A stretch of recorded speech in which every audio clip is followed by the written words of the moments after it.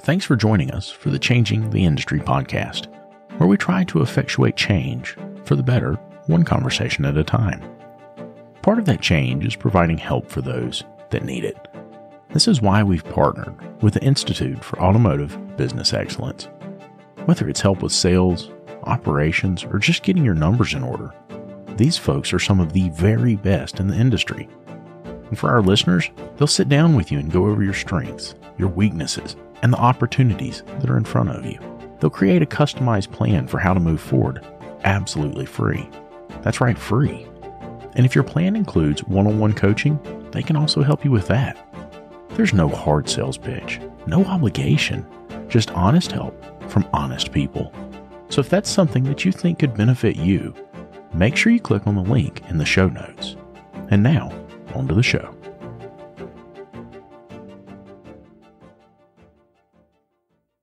What deals have we got to do? The tables. I can't read the table. Yeah. Oh yeah, you Oh gotta go yeah, we got to go do do uh, videos by each one of the tables. Yeah. Oh, they'll be back tomorrow. Um, no, they won't. They, they, tonight's the only night. And um, Flow Tech, I just got you guys set up with him about doing a video with him. If you He's not on my list. what Flow Tech. you need to you need to talk to him because hey, you know how all these transmission companies are now saying that we have to hot flush Yeah. the entire system. I've heard They're, of that. they're, they've been saying that for Flowtech? years, dear. They're not on my Well, I list. know, but they're they're Into the They're- mic, dear. They're not on You're your list? recording? But No. they're out there. Oh, we can only do so many. you can only do so many. You need are to cut them shorter. He likes to cut things short. No, when you, it's just like you guys just did one for an hour and, a, and 20 minutes. Right? Well, within two hours, we can only do maybe six. Six what? straight- Six. Interviews? Yeah.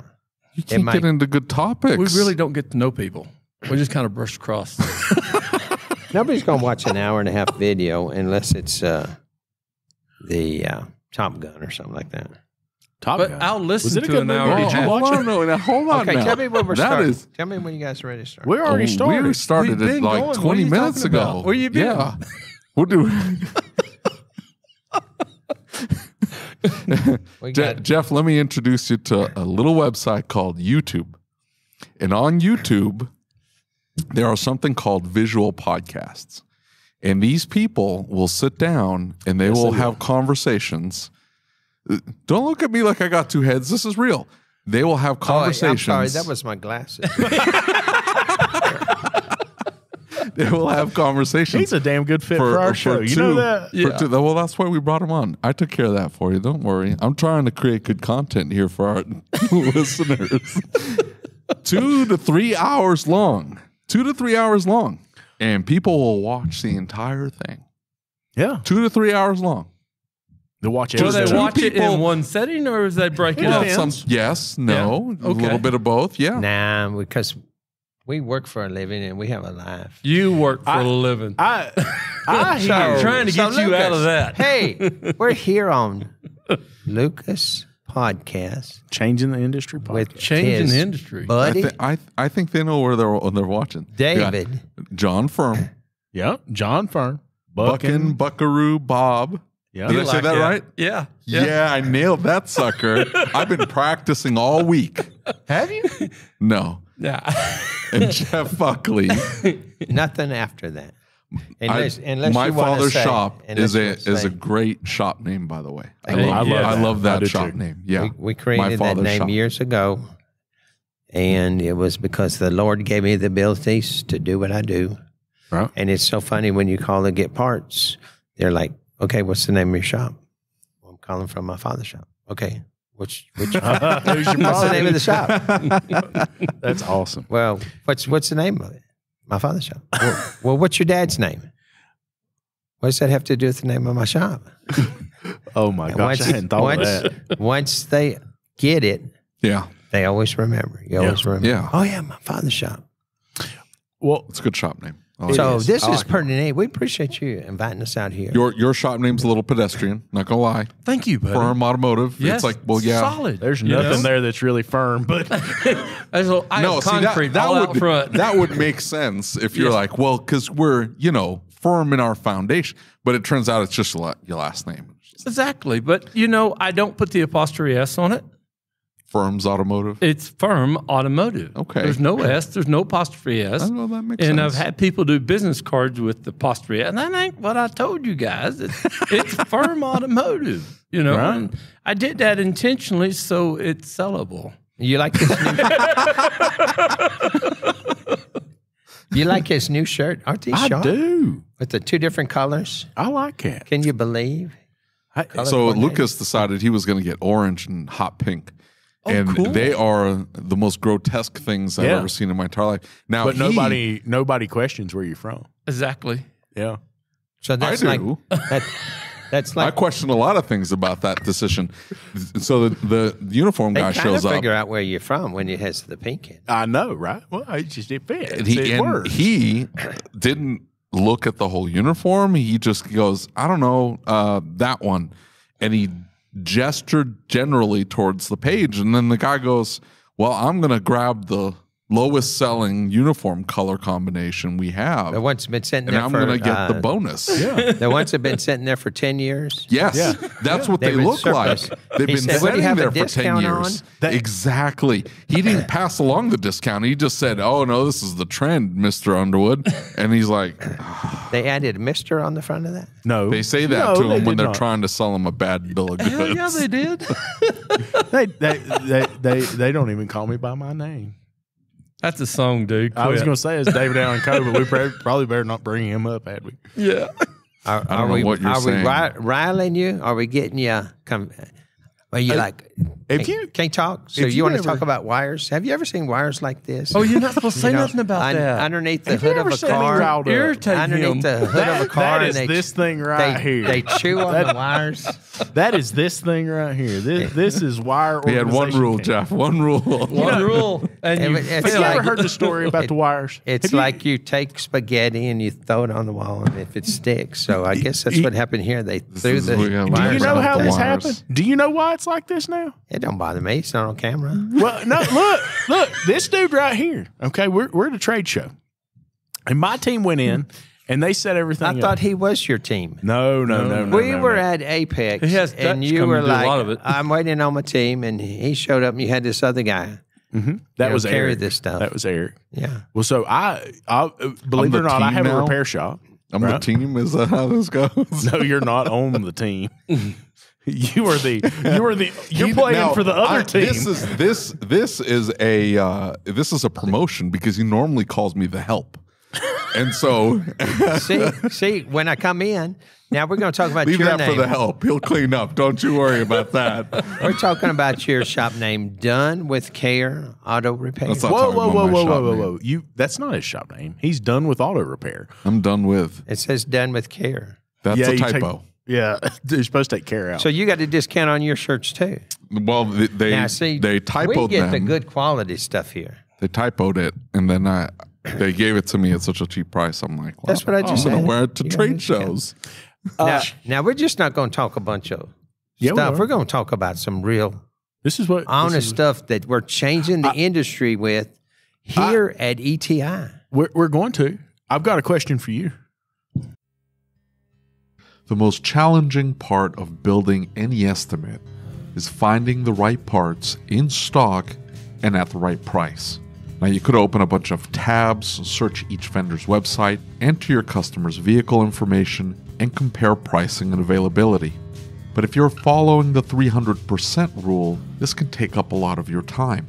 That's why Lucas and I both use Parts Tech at our shops. It's one website to see an unlimited number of parts and tire vendors. With one click, we can import parts and order them from multiple vendors all at once. And here's the best part Parts Tech is absolutely free to use, and your shop management system is probably already able to connect with it. To get started, just click the link in the show notes or go to partstech.com forward slash podcast. That's partstech.com forward slash podcast.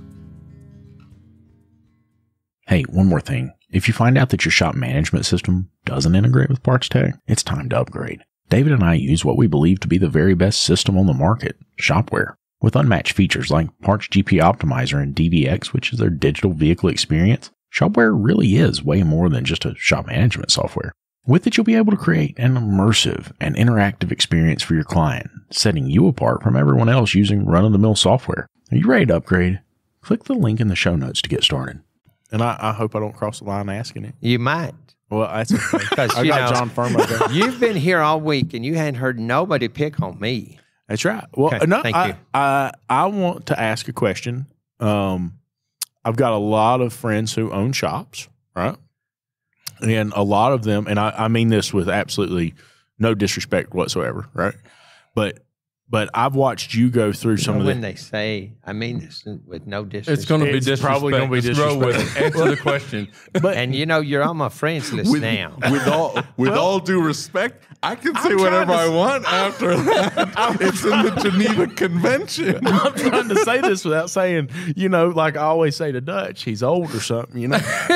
uh, you went through some health issues a while back, right? and, and recently, Yeah, yeah. And so I, I guess my question for you is, is You're talking about his arm in a sling? yeah, yeah. yeah, And and that was wrestling a bear? recently. I was off for three months. right, and and you know, I've I've watched you go through that, and I think about a lot of the shop owners that we work with, right? We all know a lot of shop owners, and a lot of them would not have had that flexibility and been okay if they had to take off three months and they were the only one they could depend on, right?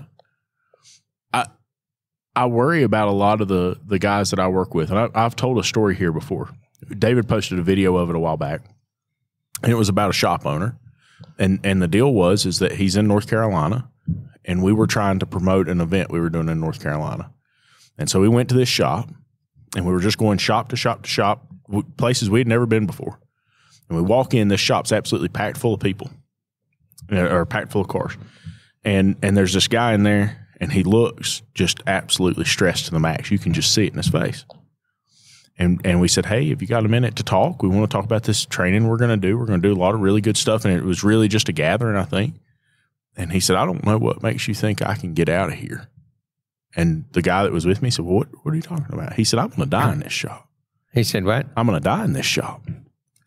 And he said, and the guy that's with me said, well, what do you mean? He said, I, he said, listen, he said, the only way out of this shop is I'm either going to die or commit suicide here. It's the only, and I'm like, do what? And he said, listen, he said, I was given this shop. He said, I worked for the people who owned it. He said, the husband started the shop. He passed away. And he said, then the wife passed away, and then it was my shop. And he said, I don't see any way out of here. I don't see any way that I can have a life outside of this place. I don't see anything that I can do. And I see a lot of shop owners, and I don't know about you guys, but I see a lot of shop owners who are in that similar boat that if he had got hurt, right? Like if he had been in a situation like you where he had to have that work done, he wouldn't have been okay to to continue on to, you know, financially and whatnot. What Well, that's that's that's not crossing the line or anything because it's. I totally agree that there's ones that don't think that they can get out of the shop, don't think that they can close their shop uh, to take a vacation, to have family time, to enjoy it, and it just comes back to number one is what's your philosophy. Number two is you know what what makes you happy Yeah. and why you why are you making a living why why are you uh, you know running your shop we decided uh, i've had a, a big shop we started in mobile service stations okay. so i had to you know pump gas Yeah. we had full service back then and you know we had a bay and we did uh, state inspections and then we had a big shop that um, had did paint and body and mechanical Okay. and so I had painter, had mechanics, and Right. we uh, actually had a, a big truck paint booth, and we painted, you know, Okay. uh, Continental batteries, Interstate battery. We painted, you know, big trucks, Right. del- delivery trucks, I guess you would call them. And uh, we uh, transitioned, and we went to uh, what we have now, Mhm. and basically, you know, because of the economy. Um, the uh, guy that owned our building, the first one, we, uh, you know, they came in and was like, okay, Right. here's your notice. You're out of our building. And the second Holy one, cow. the uh, and that was there's a, a whole lot of stories behind. This was like we got married November 11th, Okay.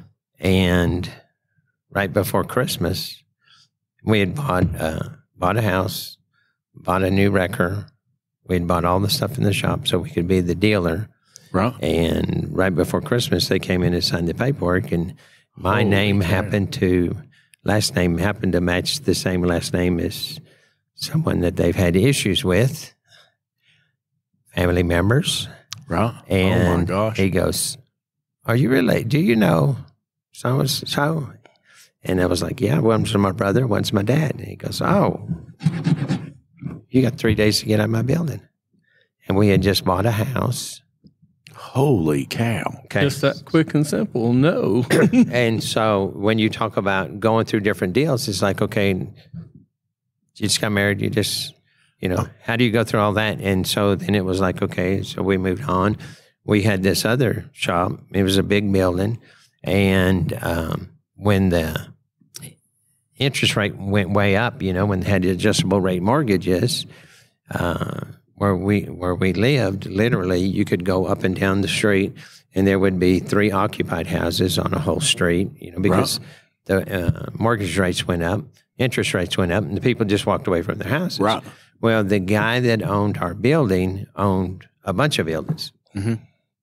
and he went bankrupt, and, and so he lost the buildings, and so the bank came in and said, uh, "Hey, you're not paying enough rent," and I'm like, "That's what the deal was," and it's like, "No, square footage wise, your rent should be three times." Holy cow. And we said, okay, let's think about this. He can't keep these buildings full at this rate. Right. What in the world makes you think you can fill them at, at three times the rate, literally three times the rate? And so then we said, we will buy the building. And they were like, no, we got to keep it on the rolls and, you know, for a year, take a loss. The guy in front of me had a manufacturing business, and our building was separate from the rest of them that were empty. Yeah. And so he goes, "Hey, don't worry about it. I'll, I'll buy the buildings, and then we'll make a deal. You work on my stuff, you know, they'll Yeah. cover your rent, but I need the rest of the buildings, not yours." And so he tried to make a deal, and the bank was like, "No." This was on a Friday. On a Sunday, they put a sign out in front of our shop for sale. You're kid. And uh, we called them and said, "What's the deal?" I said, "Well, you're out." Well, we know what happened was a friend of of a friend goes, "Hey, I got this. We can get this guy out. Now you got a business that's already been running." right. And so, fool me once, fool me twice. So, where we live uh, in Midlothian, it was county. and We went to the county and said, "Hey, can we put a shop here? Can we?" Yeah, as long as you register, you pay your taxes, Right. and uh, so we're fortunate that uh, I don't have a commute. Our shop is right behind our house, but it's on several acres. And so there was basically a little county road, barely two lanes, and a one lane bridge. Okay. And you could count how many cars went by without taking your shoes off On a one day period. in one day. And so I did fleet stuff, and so uh, I designed uh, a system, and so the company, um, you know, when you talk about fleets, uh, we had a fleet of like seventy-seven vehicles that I took care of, and uh, so we uh, we decided years earlier that my wife would be our, you know, my wife would be stay-at-home mom okay. she was like, and so we've raised four children. So when we put the shop by the the house on the same property, it was for a reason that number one, we owned it now. Right. it's like fool me once, fool me twice. You're not gonna Yeah. give it. This time it's mine. It's mine, and that's why a lot of these ones that don't own their property and stuff, it's like, uh, Yeah. I've been through that, so I, I know the issues. So we decided years earlier that we wouldn't have a big fancy new house, we wouldn't have brand new cars, Right. but we would have a nice livable house, and we'd, you know, my wife would be able to focus on. We're not two incomes. My wife would be able to focus on raising the kids, Right. and it was country, and we had uh, ponies, horse, we had chickens, goats, we had you know rabbits. Yeah. You know, we raised the kids, you know, to do uh, to to understand what work is, to understand, you know, what responsibilities are, and we raised. Uh, I like to say we raised our kids to be champions, and uh, you know, to be respectful and to understand, and that was more important to us than than having a big shop and a bunch of employees. It was like, so if the kids had activities at the school, Candace could go to them. If uh, the kids got older and they did sports, I actually coached all of their. So at, at one time, you know, we have four of them playing basketball. I coached all four basketball teams. And so I would, you know, have the time to do that. And so you just make adjustments. You decide what's important to you, what makes, uh, you know, what what you want to leave behind. And uh, Dutch said something the other day. He goes, uh, and you guys were around, and he goes, you know, when they put me in the ground, what are they going to do? Throw all that stuff on top of me? No, Right. It's like so you got to understand what makes a difference and what makes a meaning to The your legacy. life. And uh, so, uh, you know, if I if the kids had a game in the evening, and I'd do that, so I might have to get up early in the morning to work, or I might stay late. You know, we I'd go to their if they had activity or something, we'd go to it, and then I'd come home. And if I was out there late working, and years later, when my kids were teenagers, one of them said, several of them, you know, said, you know, Dad, uh, we appreciate what y'all have done for us because we go to school and all of our friends, you know, their their dad is traveling, their dad is working all the time, Yeah. or their mom or mom and dad is working, you know, and it's like they're like, oh my gosh, your parents come to everything. Oh my gosh, you know, our parents are never around. Oh my gosh, Yeah. and at that point, you you understand, you know, that they realize, and it's like you know they didn't have the the Michael Jordan shoes and they didn't have the fancy clothes, but they always had clothes to wear, and they had, you know, and and when it came to cars, their friends would have brand new cars in high school. right. Right. And- Ridiculous, right? And within a week or two, you know, they'd wreck them or whatever. And my kids would say, Hey, and I said, Let me tell you something. You're never going to have a better car than I have unless you go buy it. right. And, but they always had something to drive. We would get customers' cars that, you know, they were like, Oh, hey, we're going to trade it in. Okay, well, you're not going to get nothing. And, and, uh, or it needed some repairs. And they're like, Oh, we don't want to put money in it. And, you know, we would get them something fixed up because that's what we do. Right. And of course, back then I could do paint and body and, and mechanical stuff. It was it don't matter what the car looked like. I could make it look like new because we I, I used to fix up what we call classic cars now. Right. I used to do all that stuff and we'd paint them and it was like you know uh, a mechanic looks at it wants a, a good looking car that needs repairs. A paint body guy wants a car that runs right. they don't looks care what it looks terrible. like because they can fix it. Well, I could do either. I could do both. So it didn't matter at me as long as the, you know. Well- so that's what we've done. And then as we, as the kids got older and everything, and it's like, okay, we've had the, the shop where we had, uh, you know, the, the, the gas station, and we had the other shop where we had employees. And now it was like, okay, we schedule when the kids were growing, okay, we got this event, so we wouldn't schedule anything, we wouldn't bring anything in. And um, it was like, you know, that's just what we decided worked for us. And then as the kids got older, it was like, okay, do we need to bring someone in? And, you know, you didn't have as much issues as it is now trying to find a technician. You know, you'd bring a young kid in, you'd train them and stuff like that. Um, it just, you know, it, it, it was like, okay, we just, that isn't what worked for us, you know, because people are like, we heard one, uh, one of the guys that's here with the group was like, okay, I got three shops and I'm going to get five shops or something like this. And, and John's over here going, oh, next year, I'm- you know, this year my goal is $3 million. And it's like, okay, well, You know, that just it it wasn't you know what what was Important necessary for you. us. Yeah, and and we talk about that a lot, right? Is that those goals can be arbitrary, right? And you can just grow and grow and grow, but still not have what you need to be happy. and you can take in a ton of work and be busy, but not be profitable. Absolutely, You can 100%. you can be covered up, busy, and not be making money. And we learned years ago what jobs are profitable, what jobs, and you know when you talk about changing the industry and the podcast and and having coaches and having all these other different deals, it's like okay, there's so many guys, and they'll listen and they they ask questions on your podcast. They ask questions on the ASOG deal. Oh, hey, what about this? Hey, what about? And it's like, are are you not listening? Okay, you need to understand. You know, don't say yes to everything. Yeah, exactly. You know, and then you can have time. If the guy was covered up with work, but it's like, okay, he can't leave. You know, we we uh, the first time we decided, hey, we take off for a week and take a vacation. You know, with the family, and it was like, oh my gosh, oh my gosh, oh my gosh, oh my gosh. Is is the work going to be here when we come back? Are the people going to, you know, keep keep coming? Or they can keep bringing it to us? Oh my gosh, oh my gosh, oh my gosh.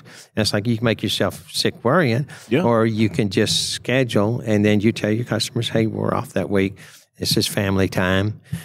People understand. Oh my gosh, you know, it's family time. You're Oh my dad. gosh, you You're need a- that You're a mom. You're a and because they're moms, they're dads, and they're like, oh yeah, you know, we take off and go to to Disney, and we do, you know, and it's like, yeah, they understand. It's not we take off, but that's Th- what that's people very do. much a product of the area that you're in though. I'm, ju- I'm just if what it was so it, it's a unique area.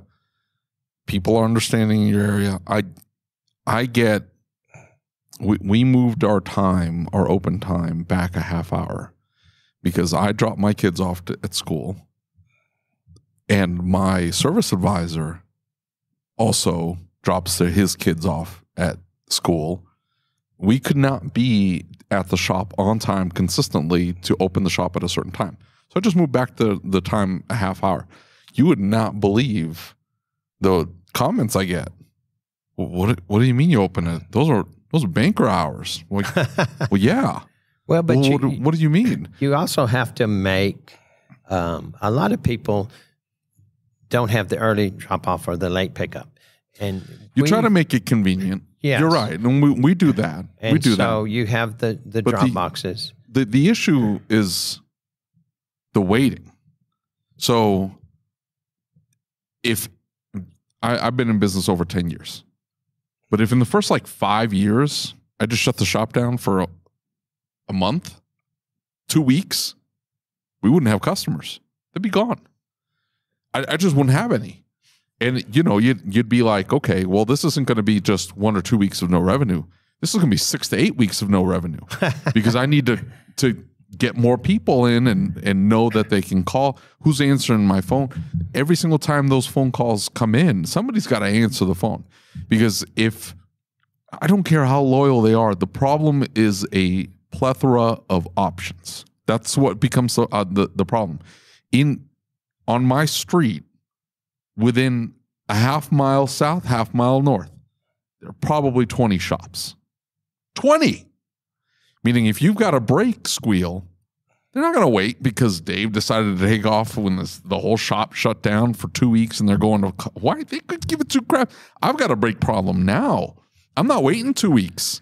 And that's all part of educating your consumer, your your customer. We're blessed.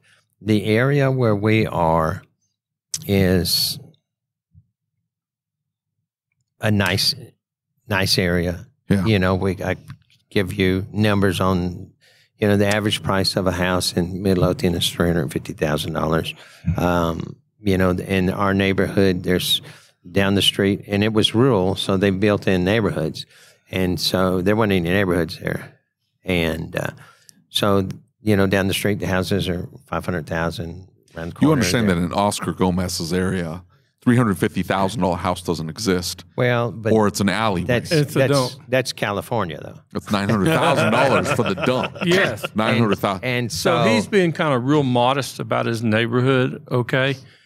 And he sits on a little two and a half acre lot. I'm sure it's worth about three mil. Yeah. And it's got an old house on it and a barn that looks like a shop. The guy next door just has a house, and I bet he could sell it for three million. And they'd come in and wipe the house out and build a brand new one. But when did you buy that that plot? When, How when Noah ago? came over on the ark, way back in the beginning. you know, when you talk about you've been in business ten years, and Lucas just built a new deal, but he's been in business a while. John's been 20, Two weeks. And I'm brand new at this. 25 He's years. his first um, day. Yeah. We've been at that location going on 30 years. I've been in business 40 years. Yeah. And so many times we talk about marketing, and that, that'd be another subject for another podcast on all these ones that they're marketing pros and experts and everything. And you walk in my shop, we've won. Oh, you have the wall of fame when you walk in his shop. You got a picture with him and Mike Rowe, and No, then a but- picture with him and Mike Rowe. And did I say a picture of him and Mike Rowe? There's a couple of those, okay? Wait, but wait. it's all the race car drivers he knows. Like, what was the lady's name in NASCAR? That No, Monaco, we're talking whatever. about we're talking about that Danica? we've Yeah, won. her. I thought he's of going her. on Monica Lewinsky there for a minute. We've won uh, But he has a wall of fame. best, really does, seriously. best in Ellis County. They came out that four years ago. We've won every year, and not Midlothian, the county. We've won best in DFW Southwest. Yeah. That's like Uh, two or three counties. We've won, and uh, if he of course- wins another trophy, he'll have to hang on a oh, I've got some on that table now. I got some a, I got a question though. And so it's He part of a how you're marketing. It's part of how you're. Well, you got to see some of that as long, your longevity. Yeah. Right, Which is, right. you know, okay, but- what's the question? But ha, did you ever feel like giving up? You know, it it's like okay, you can either you you guys ask what's the name of the shop. So you can either when adversity hits you, we got married, all of a sudden it's like, you know, you get the rug pulled out from underneath you. You just got a mortgage, you just got a new wrecker, you uh, all all that, and it's like, psh, okay, and so you can either go, woe is me, woe is me, Yeah. or you can say, okay, Right. let's let's go on. And you know, we went to the other one, built that up, and then it's like you lose that, and you're like, okay, I've got you know four kids now, and and what do we do? Oh my gosh! And it's like you just you just always wake up, dust Pull your your feet off, on and go again. go back to work. You know, you have to have that mentality. It's you know a lot of it out there is oh right now is oh oh you owe me or oh uh, you know I'm entitled to, and it's like okay we're from the old generation. You work for it, you earn it, and so when those things happen, it's it's like gone and dead, dear. it's like okay gone we- and dead. we- we gotta- think that way. you know we got to go on, and uh, so I guess it's going on six years, seven six years. I had a heart attack Right. and uh, they saved my life and and it was like okay so we had to it was like it's like the lord takes care of stuff if you Yeah. don't get in his way Yeah. and that was back when i did the Mike Rowe commercial it was it was like a uh, a, a, a blessing because they had called and uh, said hey we want you to try out these brakes so i had a heart attack and it's like okay They wanted you to try like brake pads. yeah, so we, we tried them first. We were like a, um, I don't want to say a beta tester. It was like they picked a bunch of shops to try these brake pads. And then you had to, they would send them to you. You would say, hey, I need brakes for a 98 Suburban. Mhm. They would send you the brakes and you'd put them on and then you fill out a Yeah. form and, and submit it to them. Hey, what do you think? How had it go? Did they fit? Blah, blah, blah. so we What kind of brake pads were they? The Wagner brake pads. Which line? The OEX. Oh yeah. That's okay. what the commercial was for. Oh okay. Kind of a big deal. The And OEX so, yeah. Uh, remember when they I That had first to- was came out. his words. He made that up for the advertise. That's a cool story. Kind of a big deal, you know. And the guy that was putting on got all upset. He said that and came to him and said, That's not in the script. Don't say those words. Mike Rhodes came to the guy that's putting it on and said, You need to get off my set. I'm saying those words. And chased the guy that's putting the commercial together off the set. So uh, I had the heart attack, and then it's like, okay, what are we going to do? Right. We're going to get by for a while. So Wagner was sending me the brake pads. So we said, okay, well, we can only take in brake jobs, you know, quick, easy deals. And, uh, yeah, I'd set the lift, uh, and my wife would, I'd take the, lug- she would take the tires off. She'd take the wheels off and set them down, and I'd do the brake job. And because you can't Yeah, lift you nothing. can't lift. Yeah. And for several months, we got by basically on brake jobs. And the blessing was we didn't have to pay for parts Yeah. because they were sending me the, the Yeah. parts. Yeah. And then it was like you get so many. Well, then the guy that was in charge of it knew what was going on. And he goes, Oh, you get all you need. Right. And that's how we got by. That's how we survived. And so it was a blessing. And then at the end of that, they said, "Hey, we want you to do, uh, you know, uh, we want to fly you out and see if you can do a commercial with our celebrity." And I was like, "Well, who's your celebrity?"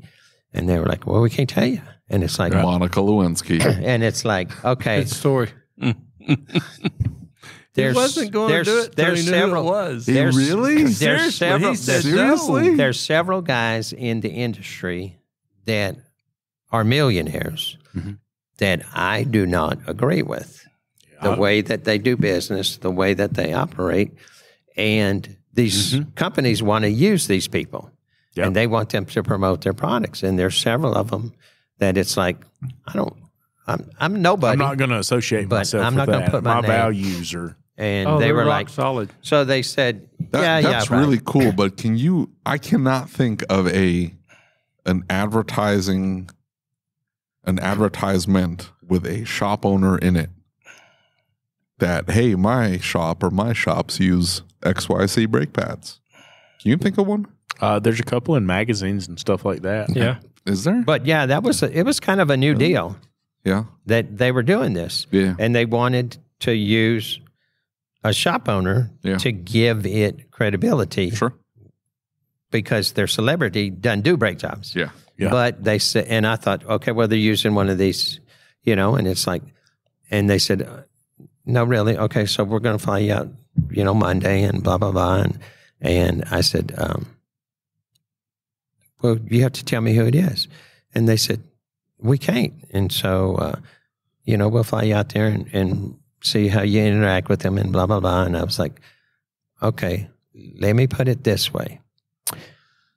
If you don't want to tell me, then you can fly me out there. If it's one of four people, Yeah. you're gonna put me back on a plane and you're gonna fly me back home. you have very four specific. You should call them out. Who is it? No, not. He's like, no. so because they're millionaires, they're, a lot of people like them. Right. I just didn't agree, and uh, you know, with how they do business, and so uh, they said, yeah, yeah, yeah, and there was, there was a panel of ten, and they were like, yeah, yeah, yeah, yeah, yeah, you know, and I was like, and I'm on the camera, I said, and they looked, and they looked, and they said, you're serious, and I said, yeah. Well, this is commercial. I said, I don't care. That's why I'm not a millionaire, but you know, why don't buy, you know, but that's how, and so then they told me, and I was like, oh, yeah, that'd be kind of cool. right. And then when you got there, you find out there was three guys, a young guy, a middle-aged guy, and an old guy. I won't tell you which I was. and He then, wasn't uh, a young guy, I promise you. I wasn't a middle aged guy either. And then uh, they brought him in and, you know, okay, he's talked to him. And the young guy was like, and I was like, dang, if I don't say something, I ain't going to get it. Yeah. So then I spoke up and, and talked to him and I joked with him. And it's a funny deal. And Mike Rowe is the nicest guy, but Yeah. uh, he's like real quick. So he, uh, he catches everybody, you know, and everybody's like, Right. oh, if I can just say something, you know, he'll say something, you say something, he say something, crack you up. and it was like, and everybody's like, it, it's a contest to see who can Right. say He's something, witty. crank him up. And it was like, and so I said a couple things, and uh, his his parents the week before they were in New York because he does stuff for CNN, and uh, I was like, "Hey, Mike, you know you were in uh, in New York last week with your parents." Yeah, yeah, yeah. I said, "Oh my gosh, the president came to town, the Pope was in town, and." Uh, uh, the UN was in council. And I said, Did you get to talk to the Pope? You know? And he goes, Oh, no, no, we got out of town because the Pope was there, the president was there, but the UN was in council. And he says, So they had all the streets shut down and, you know, protecting the president and the Pope. And I was like, Oh my gosh, this is like a, a once in a lifetime opportunity to, you know, Pope doesn't come over here very much and, you know, to see him. Right. And I said, "Oh, wait a minute! I forgot you're Mike Rowe. You just call him up and say, "Hey, uh, this is a Michael Rowe. Can I speak to the Pope?" and he cracked up laughing. And so, and then they uh, they called me that night and said, "Okay, we're gonna pick you up at at nine thirty or six thirty in the morning, take you out to the deal." And I was like, "Oh my gosh, I got hired!" And I was like, and and I was like, "Oh!" And the other guys they went out, you know, stayed out late. Yeah. So about nine thirty, they called and go, "Hey, we messed up. We're going to use the other guy." And I was like, "Okay, so hi, hello, Right. Disappointed." I'm like, "Dad, come! I got fired before I even got hired." I know, right? oh my gosh! And I was like, I was feeling down, and and my daughter was like, "Dad, you're out in California." We were on where Route 66 comes in, Mhm. right there on Santa Monica Pier Yeah.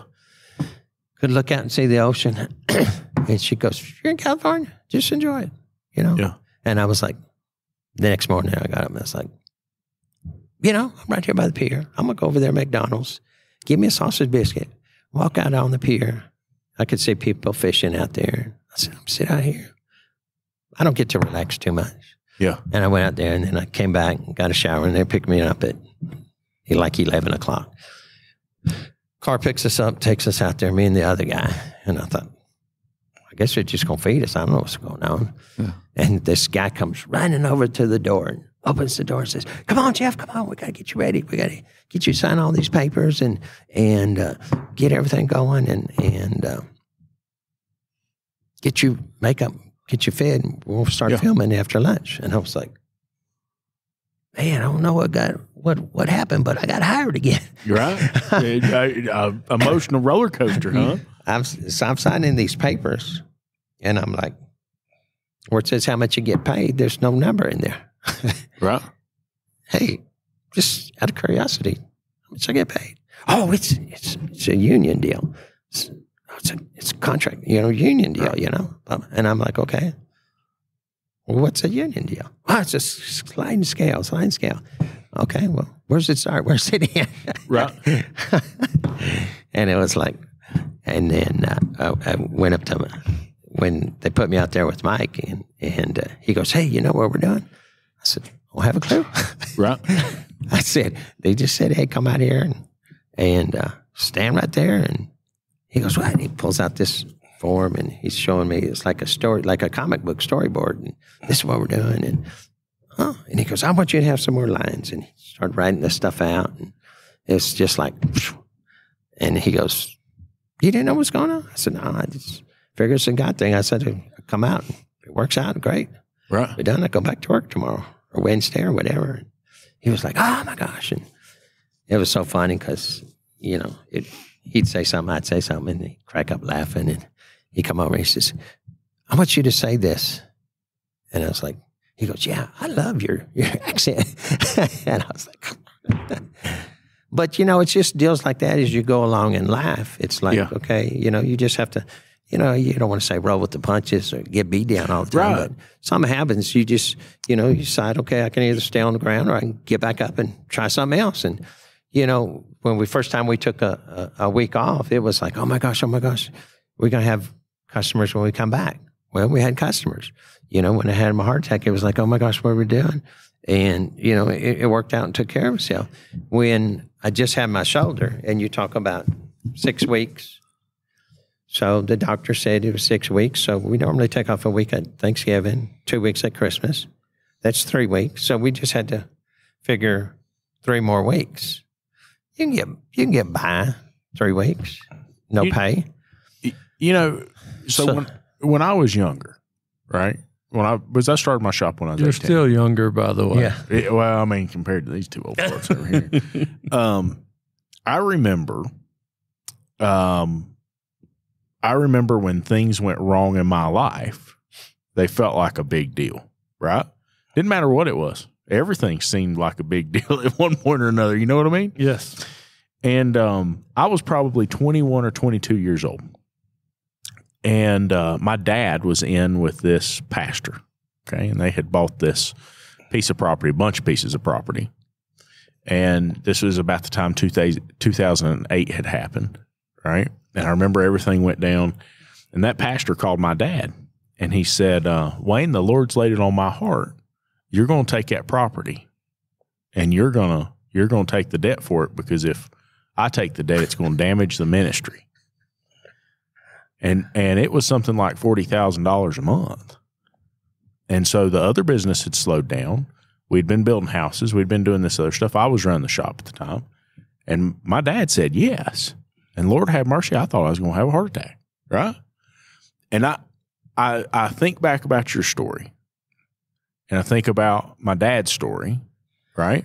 And that's where a lot of people have problems with Christianity or saying they're church Yeah. people or whatever because it's and and uh, you know we've dealt with that with uh, you know knowing the behind the scenes at a church or knowing Yeah. the, the politics Well- and it's like sometimes you have to think those guys don't and I don't want to be ugly, but it's just like you know they.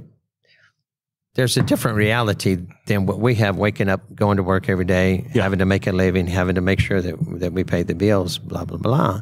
And so sometimes that can affect you, and you can, or Yeah. you can say, okay, you're not supposed to judge. Yeah. And it's like, okay, that affected your dad, that affected your life, and it's like, yeah, okay, Yeah, and, and and it affected my perspective of that. David and I have talked about that, right? Because it, it had a, uh tremendous effect on my perspective of Christianity and religion as a whole, right? And so, And that's not what we're talking about on here, but that comes back to your perspectives on what makes you, you know, what makes you happy, what is Well- worth, you know, what are you making the money for? right, And uh, it's it's like you can either let it affect you for the rest of your Well, life, see, that's that's the thing, and Is- it's it's hard to turn loose. th- that's the thing is because my dad, right? While I'm over here flaming mad about it, my dad says, "You know what? I'm not worried about it. It's not a big deal. It'll be all right." And so me, that upsets me worse, right? And he said, "Listen, I'm telling you, I'm not going to worry about it. It's just going to be what it's going to be. We're going to do whatever we got to do. I, if they want to take it all, let them take it all. What what are they going to do?" And you know, I, I say this sometimes. I remember this old coach saying on on TV one time. He said, uh, uh, "You've lost a bunch of football games. Uh, you worried about getting fired?" And he said, "I ain't worried about it." They said, "What do you mean?" He said, "They can't eat me, right? like I'll just go get Amen. another job, right?" And so I think about that, and I, I think about what you went through, and I'm thinking about my dad as you're telling this story, because all of a sudden he seems a whole lot more wise as I've gotten older. right? Because he's been through these things too. You've been through these things, and instead of getting upset and reacting, because I think it's it's when we react and we have a uh, what was it? Rick always told me he said, "Don't have a, a permanent reaction to a temporary problem." Amen. Right? And so I, I pay attention to the choices you've made. I'm thinking about the choices my dad's made. That turned out to be a multi-million dollar win for him. Right? Now it wasn't that there wasn't struggle. It wasn't there wasn't challenges. It was it was hard. Things didn't go the way they planned. They did take knew? some of it. My dad? I don't think he cared. I don't I I, don't think he entered I don't I don't think he cared, but you don't you don't get the setup that he has been able to grow and sustain and not be smart. Oh, he's smart. He I, I- used to think he was He saw the everything coming crashing down around everything and went, It'll pass. Right? He did. I'm gonna And I- float this for I a was while. and I'm Did you have a walk house, this uh, a place to smelling stay, like lay your roses. head? Yeah. You know, you pay we never bills. went without. Yeah. We never went without. And I, I was 16, 17 years old, didn't think he knew a darn thing. and I, I, I tell this story sometimes. I remember my daddy always wore bibbed overalls, right? Big old beard. And I remember going to a restaurant one time. And we walked into that restaurant, and none of the waitresses wanted to serve us. Had a bunch of construction workers with us, right? And they they come over there, and she was upset about having to serve a bunch of hillbillies, you know. And Didn't think she gonna get a tip. Right. And so when he, you know, when we got ready to leave, he pulls out a roll of hundred dollar bills that big around and starts counting out the money to pay for the bill. And every time we went in that restaurant ever again, they all wanted to serve us. you know? Hey, let me help you. Right. And that's the deal that you have to do is even if you're having a hard time, if you go, you know, you have to realize that's how those people make their living. Yeah. You go to a restaurant, you still have to take care of them. And, and it's like, it don't matter what you're going through. If it's too bad that you can't go and, and pay your food and take care of them, then don't Yeah. go. You know, you get your bologna something sandwich. But, you know, this last deal with the, it wound up being three months. We thought it was going to be six weeks. Hey, we planned for that.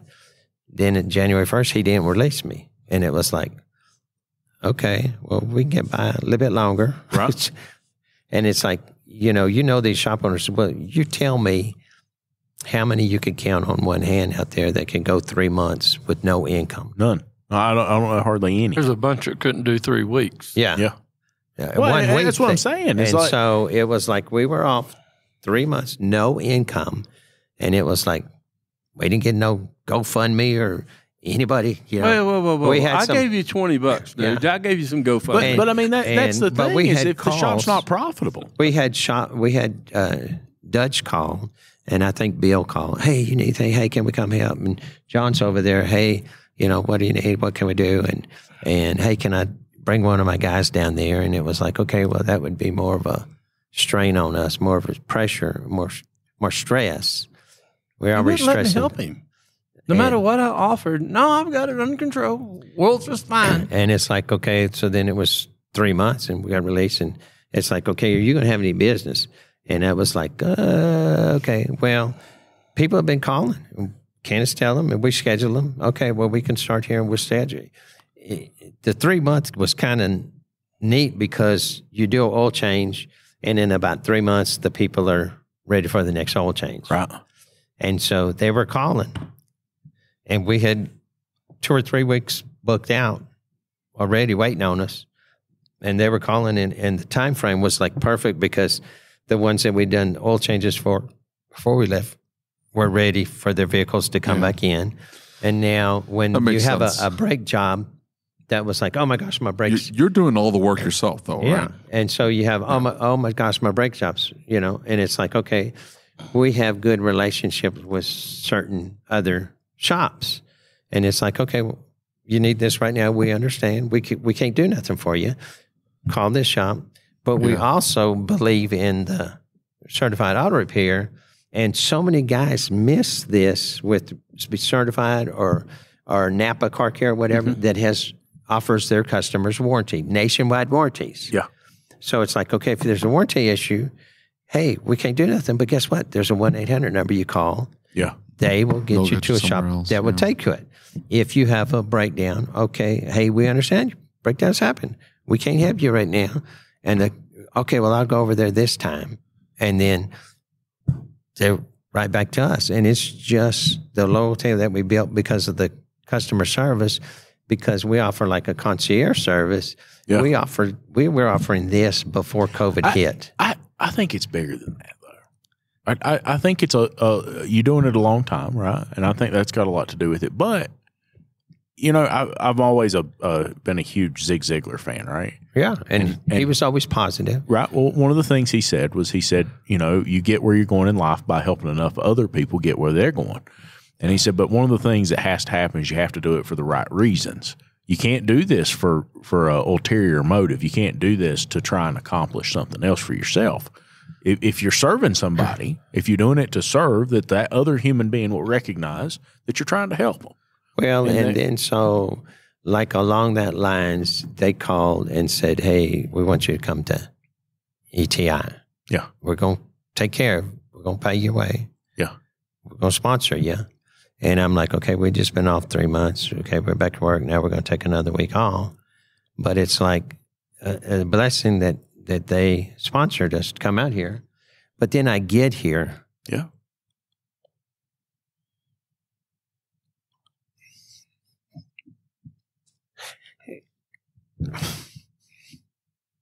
And the way you guys talk about me to all these other ones on going, oh my gosh, this is Jeff. Oh my gosh, he's a rock. Oh my gosh, this is, he does all this, he does all that. That means a lot to me. And it's like, I'm Oh, I thought you were we're mad not at out us. here. I thought, I thought we were saying No, I- something bad. I was getting nervous there for a second. I'm like, oh no, We're this is gonna be rough. We're not out here to promote Jeff Buckley and John Firm. Yeah. We're out here to help our industry. To we're, help. up, we're up here to tell these guys about these new deals, this is networking. We're out here to make some connections to to Sure. get some new uh, tools And, and to Jeff, show that these tools work. It's it's but it's bigger than that, right? It's bigger than Why do you that. keep saying that? It's not. It, he said it He- beautifully. You said it beautifully, Jeff. Don't listen to him. He's a yahoo. He- but you, your you- shop's like, you don't need to be there, right? At your shop. Oh no, I, I don't. My But- shop run on its own. But Yeah. But what I'm saying though is that you're reaching a demographic, right?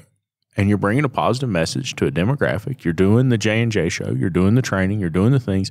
We we reach a specific demographic. You guys reach a specific demographic. Carm reaches a specific demographic. And at the end of the day, just like the reason that we do what we do is because I don't want people to feel like I felt at one point in my business, right? I don't want them to feel alone. And and this this story has been touching for me. I did not know this story. I didn't know it. And it's been touching for me because, you know, I, there's been people posting in ASOC. And and just the other day somebody posted and said, I'm I'm gonna have to throw in the towel. I'm gonna have to give up. Uh, This isn't working. I can't do this. and and we see those and hear those all the time and and I've had talks for years I wouldn't post the comments publicly I would Yeah. you know message them or I'd call them and say hey tell me what's going on tell me what you're doing Yeah. and give them suggestions you can't run someone's life and you all you can do is make suggestions whether they do it or not is up to them we had a guy local that was like oh my gosh hey I'm closing my shop January uh, 31st. I said, What He's are you going to do Feb- February 1st? Yeah. He goes, well, well, I don't know. And I'm like, Okay, well, why are you closing? Well, I don't, I don't understand this. I don't understand. You know, he, he didn't know if he was making money or not. And he just knew he couldn't pay the bills. Yeah. And it's like, okay, you know, and, and he was in a meeting and, and somebody asked him, Hey, what's your KPI? What's your, and starts asking him all these initials. Well, that was Kim and Brian. They came to the meeting that time, and he they opened up his eyes. but I think it was the meeting before that uh, with uh, someone else that you know who I'm talking about, and uh, was as and and the guy was like a Why, deer in the why you guys acting like that? like a Was deer in the headlights, Was he on there? No, no, no. like a No, deer in the headlights, because you can either ask somebody a question showing that you care, or you can ask somebody a question to embarrass them. And this guy didn't mm-hmm. know that you know what all these letters meant. He was a mechanic. He's still Yeah. a mechanic. I turn on the wrenches. He don't know nothing about numbers. That's the deal that we try to promote is okay, guys, you you you're having problems. There's solutions. There's free training out there. Yeah. There's Yeah. AMI. AMI. And it's like so many have forgot that AMI, the management training, can help your service advisor. They can help the girl that Yeah. answers the phone or the person that answers the phone. They can help. Eh, Or you can go and listen to the guys that say yes. and it's like, okay, but in reality, that doesn't always work for everybody. And it depends on your Well, they- demographics. but- it depends but- on what you can what you can handle. Oh, I'm getting ready to kick a hornet's nest. I'm sorry. Go ahead, don't kick it. kick- I want to I- hear But this. That's but you you know what I mean? You It's already like brought up religion. We can get into that. That's more fun. Oh no, uh, I- no! I want to hear this hornet's nest. Well, I- But yeah. I, Jeff is not we're, going to we're let you not say we're it. not They- stirring hornets. We're trying to. But but why do they?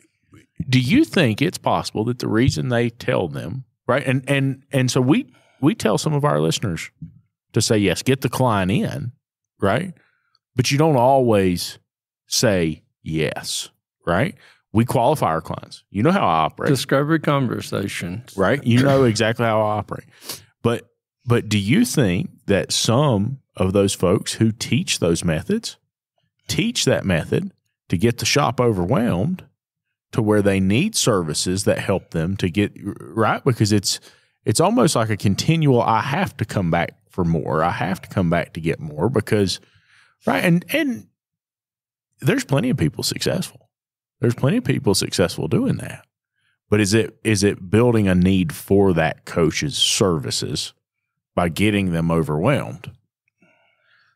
What have you helped if they're overwhelmed? What have you done for our industry if you're disappointing customers? If you're adding to, you know, mechanics haven't always had the best reputation, and mm-hmm. that's part of what we're trying to do by Of educating, by I don't, I don't think industry. they give two flips about the That's what I was perception of say. the industry. They're just trying to make that that cash. That's all they're they're worried about doing well, and that's it. right. I don't and- think they care the the end consumer. The biggest disservice you end up doing to, towards a customer is is being disingenuous, bringing them chasing in the money. bringing them in to chase the money, but you bring them in under false pretenses. Mm-hmm. You bring them in under Yep. one that we heard. This kind of annoyed us, it, but it was something that was prevalent and taught by very prominent people. Is that you're always an expert at whatever car they call about. And Uh, do you guys- do you guys do you sat Lexus? in this deal here, and Oh, you, yeah, yeah, and we're had, experts you at Lexus vehicles. Honda, You got to know and- your market. You got to know your customer. And if you don't know those and you're just saying Well, saying the- yes, Well, the, the, it's not even just yes, come on in. It's telling the customer, you know, hey, hey have you guys worked on it. Land Rovers? Oh yeah, my, my I have I have fantastic Land Rover technicians. They're experts. They're they're taught to say that to the customer who's asking genuine. Que- that's a good question for a consumer That's- to ask. Yeah, it is. Do you work on this model? Have you worked? Did you have the tooling? Those are good questions.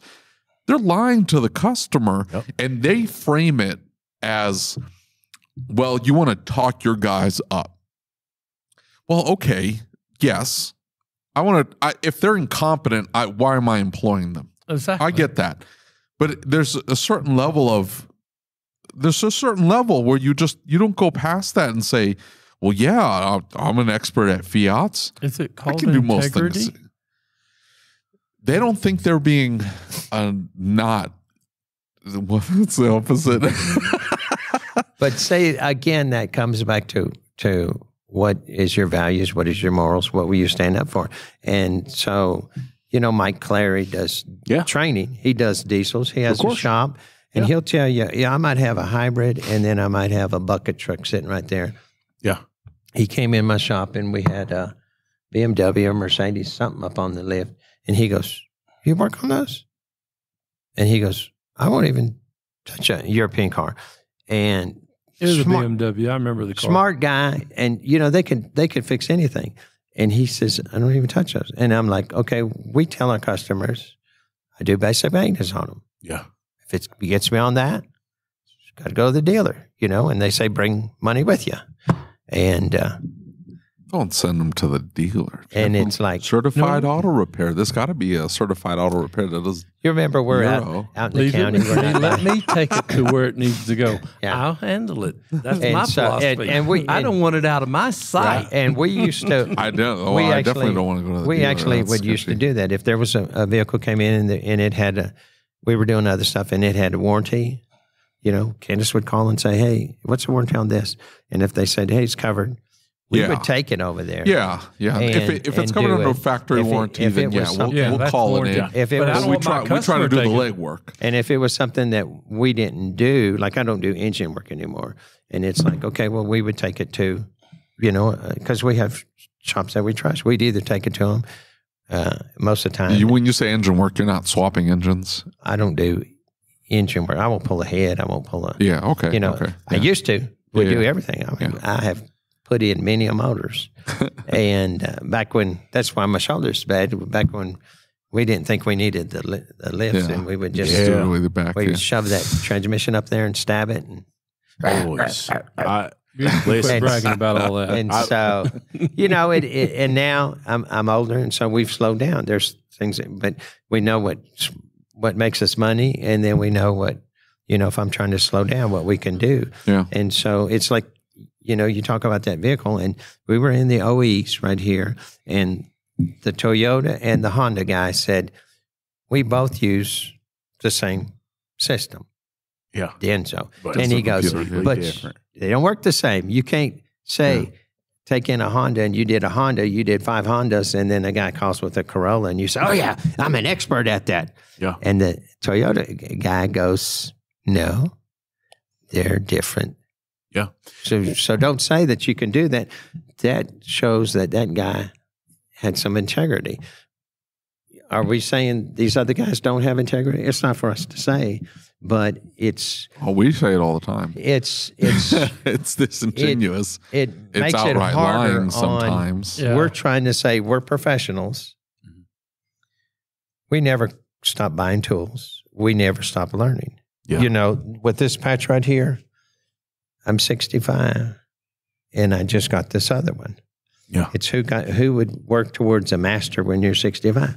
This one we have to renew every five years. Yeah. Yeah. And it's like we and and the reason I did that to begin with was to show my children. They're like, oh, I can't wait to get a school. Oh, I can't wait to graduate. I can't wait to get out of college. Never done. You need to get the mentality that you never stop learning. Man, And it's like, okay, it, it doesn't matter in life, in your relationships. yeah, that's absolutely right. That you know, and it's like- right. it's like, okay, we got shops on every corner.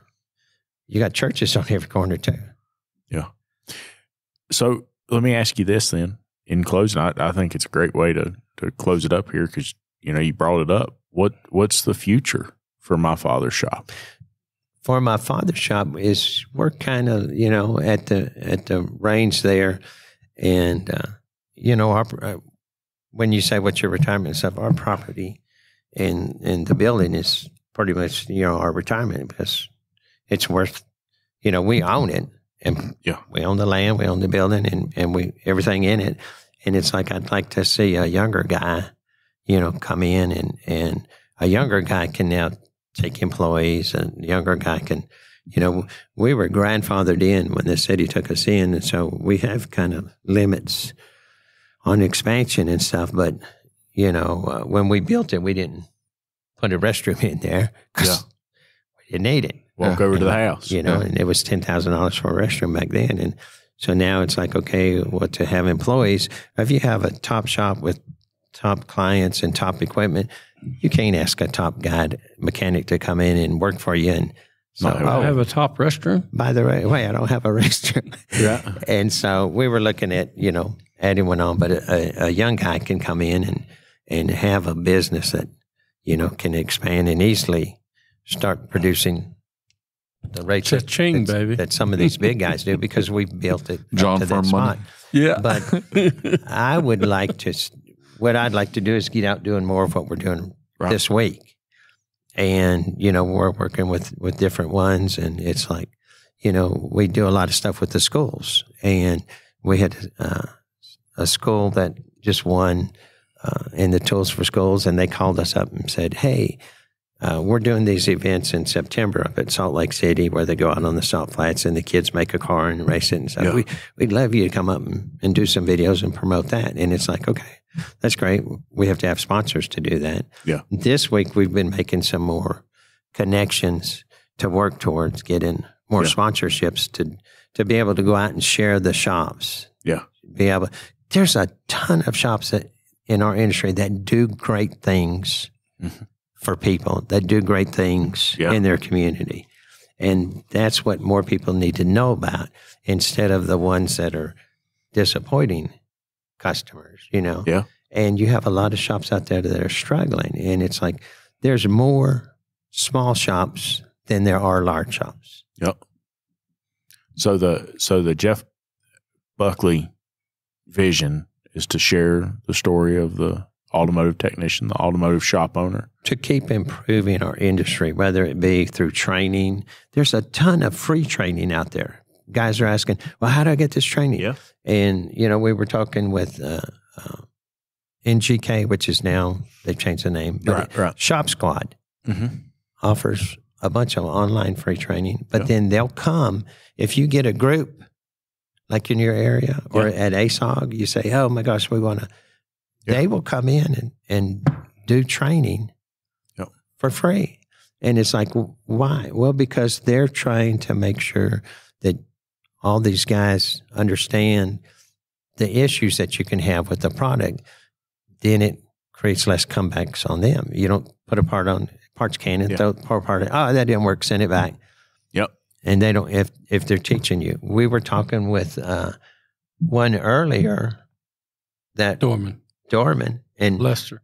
he it says right there uh, Dorman training what Dorman Training Center is what it said on his shirt. Yeah. and and they're going to offer all this training. You know, we deal with Gates. And Gates that's has all with G. I guess y'all Yeah. probably know about that. Oh yeah. Wix filters. Lester's y'all's buddy too. So People don't know Wix Filters has a university, and you think, okay, you can get a master's in filtration. Yep. Like, and it's like, okay, well, what does that mean? How much is there to a, to a filter, oil filter, coolant filter, air filter? Well, they teach the system. Yeah. So all of a sudden, they're teaching anything that oil touches, which is the engine. Yeah. So you think about, oh my gosh, I'm bringing in a, a young a young guy. Hey, my lube tech. Let me let him do this training, and he starts sparking the interest. Starts going, oh my gosh, that's how that works. Oh my gosh. Yeah. And all of a sudden, you create a little fire in him where they're, I want to learn more. Well, they're not leaving the shop. You're not sending them and paying seven hundred dollars to go to training. This is free training that they can do. Well, the schools are all the time looking for, oh my gosh, what am I going to teach the guys this week? Oh my gosh, I need some content. And it's like, there's a ton of free training out there. Yeah. That's what, Yeah. you know, we would like to do is go around and share some of that. You know, let educate. It's just like what's going on here this week. You've been coming for a couple years, Four years now. and it's like Man, it's crazy, right? I bet. I bet when you walked in there, you learned something this morning, though, didn't you? oh I learned something. Oh, every- we get blown away every single year It's we just- come here. it's just It- it's unbelievable. Yeah. the last deal I went with Donny Seyfer in Detroit was called Connected Cars. yeah. And then Mhm. they brought that up to them. Well, I remember that. Hmm. And then it's just Six like years ago. All the information just kept coming. I mean, the, the the information that's here is is not like anything that's available at any other event. no. And and look, we're involved with all these associations, and All they them. don't know this is no, happening. they do not. Right? So, is there a need for what I want to do for Ye- what you're doing? Of course, Because they they sponsored you to come out here. absolutely. And and and look, I, oh, you got sponsorship? You didn't get none of it. Hey, hey, don't worry about it. Oh, it's something we don't know. Yeah, it was funny because he David was telling me a story. He goes, you know, it's so funny. He goes, Lucas gets the suite, and then I sent him a picture of my room, and it kind of looks a like a broom closet. He got Every mad at me one time. He he he barely talked to me for like a whole week. You know why he got mad at me? When I went in my room, I, I went in my room and I was doing something. I was like, "Oh, that's cool. It's just a neat little package of Q-tips." He's like, "They gave you Q-tips?" He's like, "They put Oh, me yeah. out back with the help." You didn't get no Q-tip. I didn't get in Q-tips, and I'd forgotten Q-tips. He had piles of them. He's like, "Oh yeah, they just give them away." Not on my level.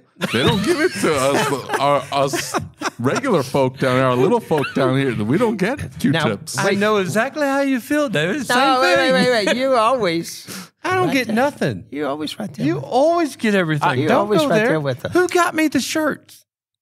You did. You know who got me my pants I'm wearing today? You did. okay, but I don't get nothing. You just said you got pants, you I- got but I shirts. ju- people give you That's just stuff. because you They won't buy them for your damn self. Don't worry about what we ain't talking about that conversation. he bought these. Right? we have some new ones that weren't ready, and my p- wife sent a picture. this is my u- my new company uniform. she she I love picked up yeah. she picked up the new ones, and it says the J and J show, and on the back. I back saw the picture. we have our J and J logo. You Mhm. saw that? He I showed saw it. the pictures. I'm excited. Doesn't he look good in these pants? He does. He, He looks, looks- slick. And he looks like a he professional got them for, for, me. I, they weren't given to me from somebody. Yes, they were. They were given to me from him. no. You the know, company gave them to. I, I got a couple pins last week they were given him, then he gave them to me. He shared, you know. Right. At least you And get. he's sharing. Yeah. I didn't get any I'm Q-tips. sorry. I'm really your he, partner. he looked at me and went, I don't, I don't know what to tell you. Use that. some Kleenex or something. And then walked away from me. That's how that went. Mhm. Awesome. God, Lucas. Shall we talk about the Thank you for listening to the Changing the Industry podcast. If you enjoyed the show, do us a favor and leave us a review on your favorite podcast player. And don't forget to set it to automatically download the latest episode. Our efforts with this podcast, the YouTube channel, and the Facebook group wouldn't be possible without the support of our awesome sponsors. So please take a moment, check them out by clicking on the links in the show notes.